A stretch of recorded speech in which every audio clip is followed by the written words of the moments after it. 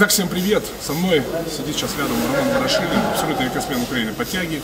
Мы сегодня оба выступали, я выступал в жиме, Ромчик выступал в тяге, и как-то у нас не зашло. День сегодня явно не наш. Я, пожалуй, 270, Рома по 370. Не 370, задалось. да.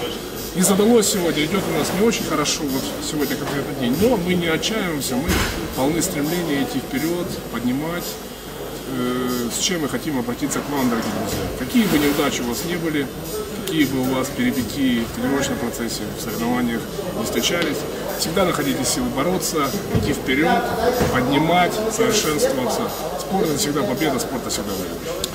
Плохих выступлений на самом деле не бывает, потому что плохое выступление, оно закаляет, как Ницше когда-то говорил, то, что нас не убивает, делает нас сильнее. Поэтому, если вы готовитесь на соревнования, всегда едьте и выступайте.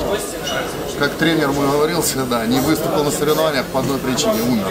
Поэтому всегда едьте, всегда выступайте. Это закаляет, это делает сильнее, это мотивирует прежде всего. Это оставляет вас голодным к вашему запланированному результату. Поэтому всегда едьте, всегда выступайте. Не отчаивайтесь, если вы плохо выступили. Работайте дальше и будьте сильнее.